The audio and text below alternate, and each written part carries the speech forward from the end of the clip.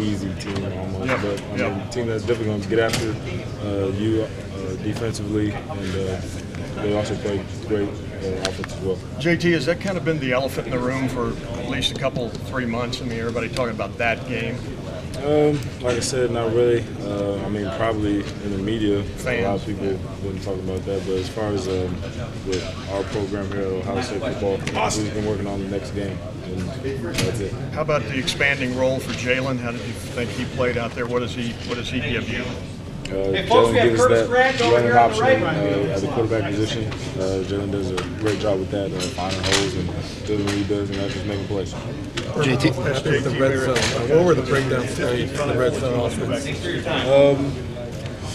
I really couldn't sure. I would have to watch film, but I think a lot of it was um, probably uh, just just poor execution. Uh, I mean, we're down there on the one yard line getting stopped on fourth and one. That's just poor execution.